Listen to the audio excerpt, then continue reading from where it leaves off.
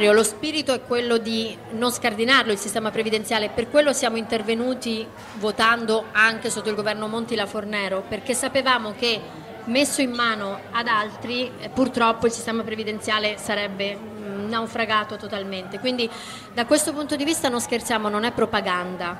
Qualche cosa della Fornero va rivista, sicuramente, perché è stata eccessiva sui lavori usuranti non cancellazione, e sul, certo. dicono. Altra cosa, Berlusconi lo ha sempre specificato, ma mi è data l'occasione di farlo ulteriormente, abbiamo detto con grande chiarezza che i presupposti della Fornero sono corretti perché rendono sostenibile ovviamente il carico previdenziale che, con cui mm. questo Paese deve fare i conti, ma che ci sono delle cose che vanno cambiate perché quella legge ha prodotto delle iniquità importanti che vanno assolutamente risolte. Ne stiamo parlando ancora oggi delle iniquità prodotte dalla Fornero e quindi ci sentiamo la responsabilità di farcene carico. Allora,